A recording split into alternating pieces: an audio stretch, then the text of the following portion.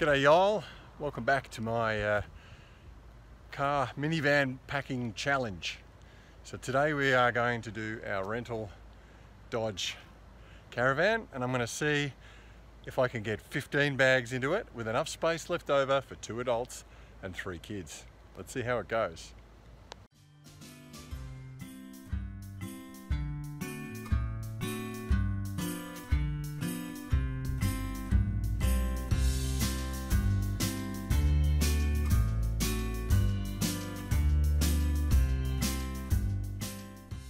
Okay, so there you have it. 15 bags, five large, five medium, and five carry-ons, all fit inside the Dodge Caravan. Now, let's see where everybody else would sit. So if you take a look, so if you take a look in here, I have stowed the middle row seats, and we've gone with three seats across the back.